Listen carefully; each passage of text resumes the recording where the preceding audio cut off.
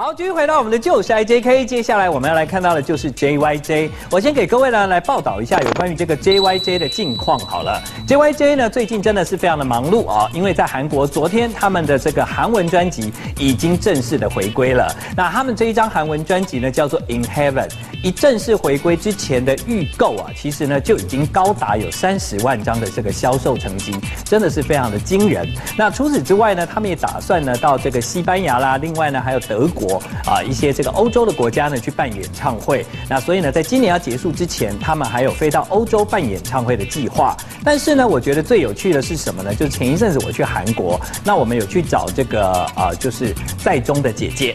那在中的姐姐呢，啊，她就是看到我就还蛮开心的，这样对，很开心。然后我们两个聊天也聊得很开心，她就跟我讲了一件事，她就说，哎，那我有听说他们今年会去台湾呢。然后那时候我就想，哦，真的假的？她就说，对啊，在中还说，如果他台去台中，台中，他如果去台湾会去找你这样子，对。然后我那时候说，好啊，那你跟他讲，他说台湾来一定要找我，所以搞不好今年，哎。也有机会在台湾看到 JYJ 也说不定哦。但是呢，他们真的很忙，除了这个作品的回归之外，他们前一阵子呢也拍了广告，对不对？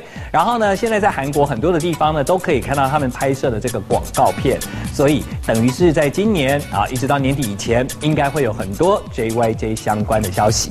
那至于我们在今天的节目中要来看到什么呢？那就是 IJK 新闻。我们看到 JYJ 里面的有天，他可以算是最近呢在歌手里面参与戏剧表现非常优异的一位。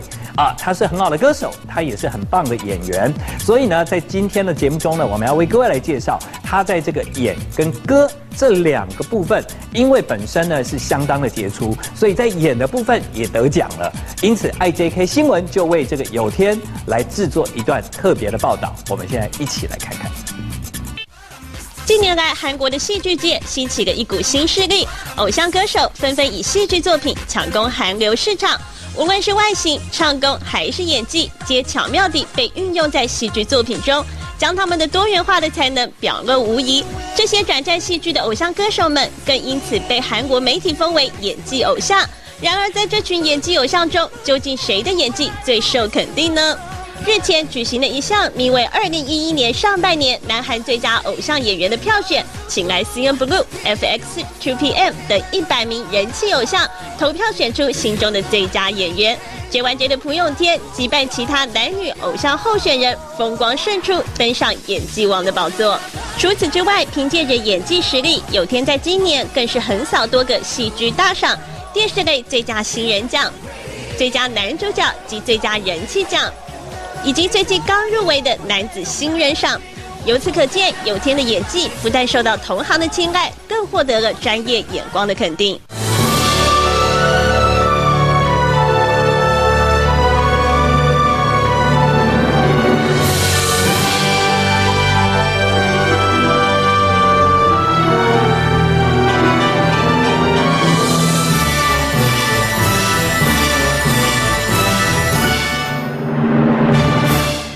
歌尔优则演的有天，在新剧《雷普利小姐》中，化身为温暖多情的贵公子，默默守护着想要脱离贫困生活而游走在沉沦边缘的女主角。饰演日本韩侨的有天，除了大秀日语实力外，也在浪漫的告白戏中展现钢琴王子的魅力。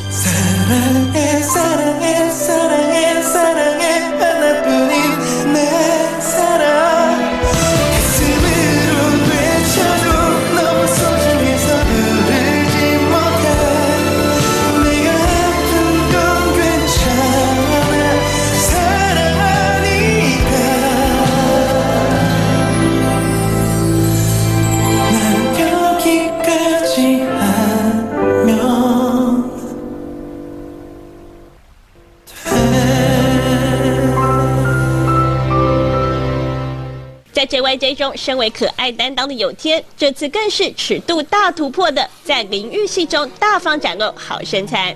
可爱的外形配上精壮结实的线条，养眼程度大大破表。画面一播出，激励广大的樱花妹及泡菜妹为之疯狂。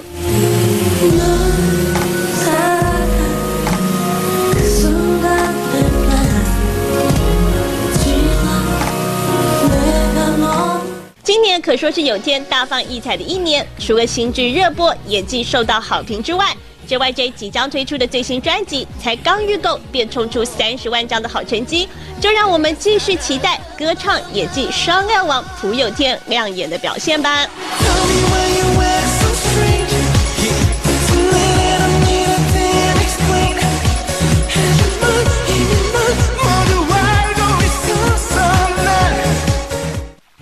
好的，在刚才呢，我们看到这个有天的一些相关报道哦。那的确啦，接下来如果你喜欢 JYJ 的朋友呢，密切期待，应该，我们会有很多相关的新闻可以在节目中介绍给各位。那至于呢，雷普利小姐在这个卫视中文台呢，已经在播出了，之后也会在我们的 Channel V 播出。所以呢，支持有天的朋友一定要记得看这个雷普利小姐。好，我来预。